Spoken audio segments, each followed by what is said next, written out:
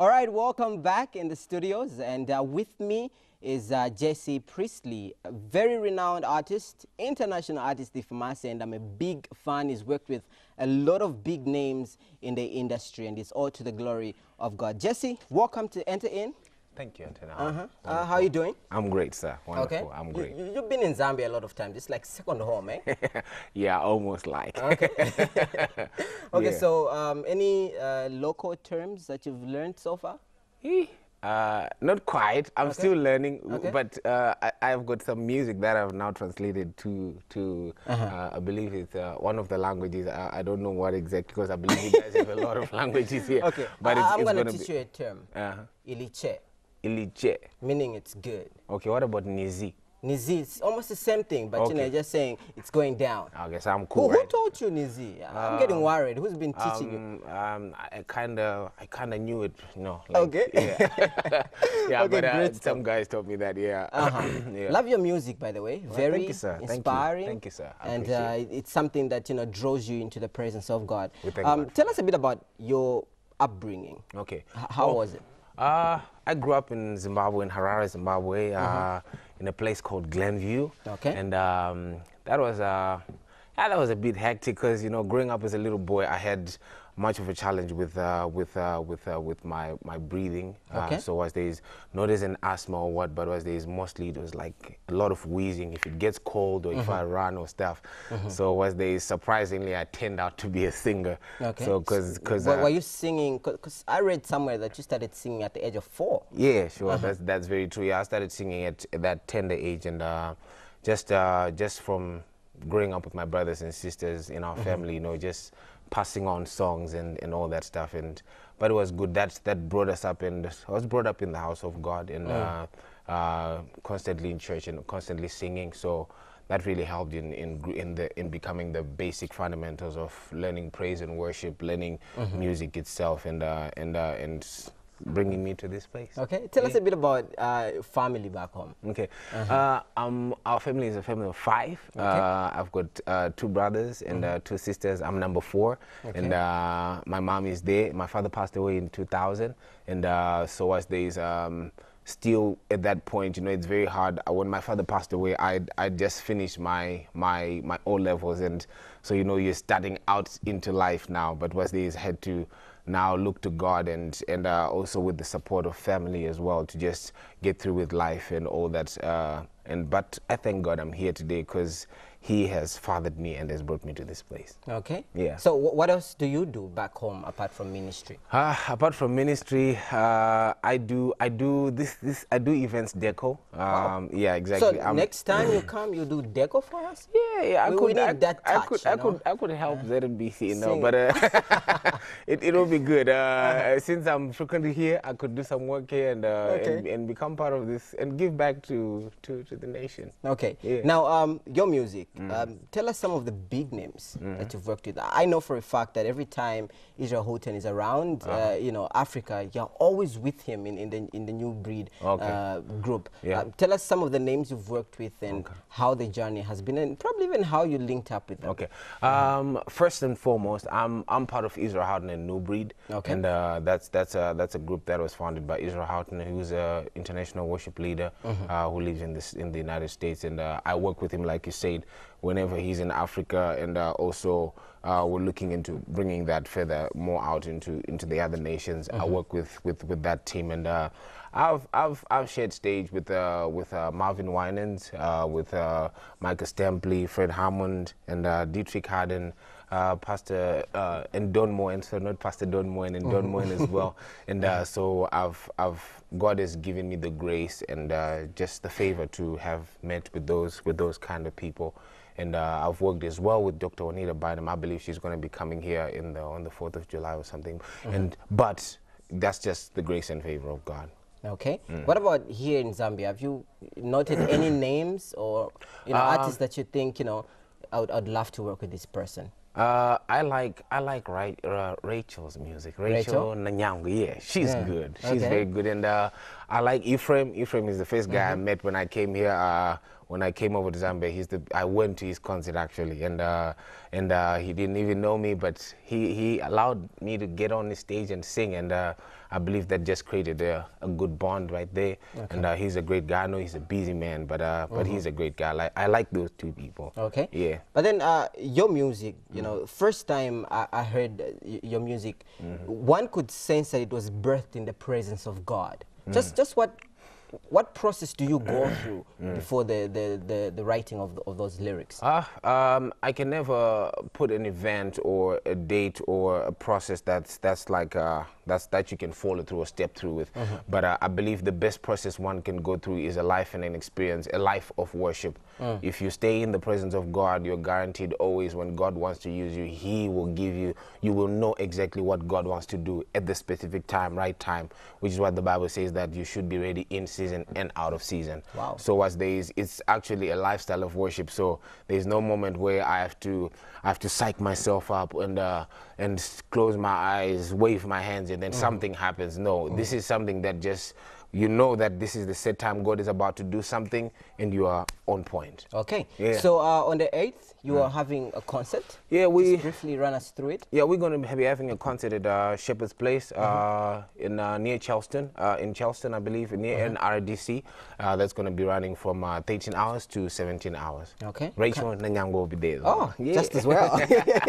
I, I can't wait to be there. But then today you're giving us uh, another song, um, "Touch Me Again," one Yeah, of my favorites again. yeah, yeah, sure. um, how did you come up with the song? Um, the song we were. I was called to studio one day and they wanted me to record something. I went with a couple of songs they, they wanted and then, uh, you know, I was just like, you know, "Ah, I'm tired of all this. Like I said, you know, if you're in, if you're in the will of God and you have a lifestyle of worship, I just started to sing and s- sing a song from my heart.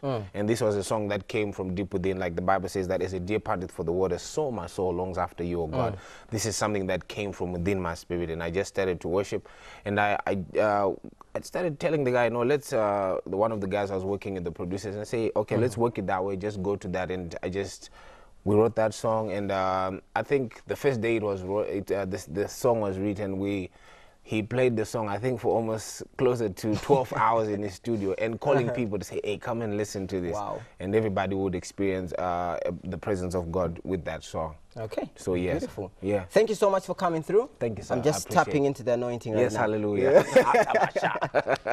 okay, beautiful. I was having a chat with Jesse Priestley, and uh, he's in the country and s- still going to be in the country for a lot of work for God. And right now, let's join him on stage as he graces us with something called Touch Me Again. And that should be something that you should long for, for God to just touch you and restore that first love that you had for Him. Let's join him.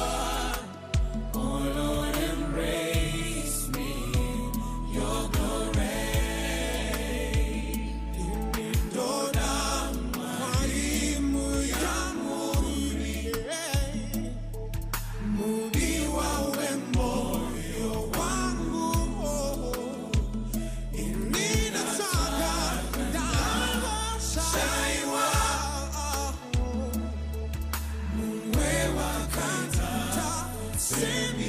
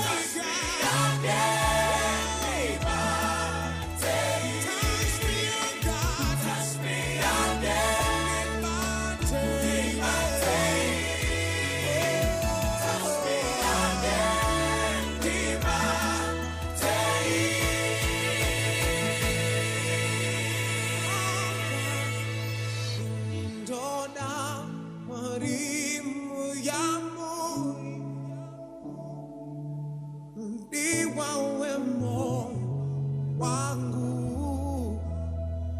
Inindatsa